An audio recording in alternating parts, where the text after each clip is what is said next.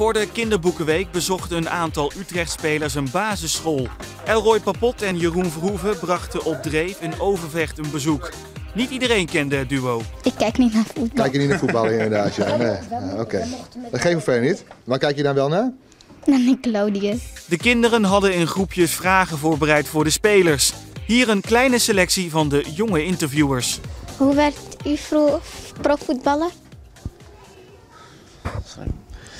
Ja, ik begon eh, bij mijn amateurclub in, uh, in Bussen bij SDO. Toen ben ik gescout door Utrecht en eh, ja, daar voetbal ik nu al eh, acht seizoenen. Oké, hoe, lang, hoe lang duurde de keepersopleiding? Ha, hoe lang dat duurde? Eh, nou, ik denk vanaf mijn jaartje of eh 13 denk ik. Dus ik ben nu nog al 20 jaar eh, bezig. En ik word nog elke, elke dag beter, dus eh, hij is nooit afgelopen. Dat is goed. Eh, hoe oud was u toen u voetbal leuk vond? Ha, eh, aan wie? Aan mij? Ja. Oké. Nou, ik heb volgens mij voetbal altijd al leuk gevonden. Ik ben begonnen met voetbal toen ik denk 4, 5 was. Dus eh,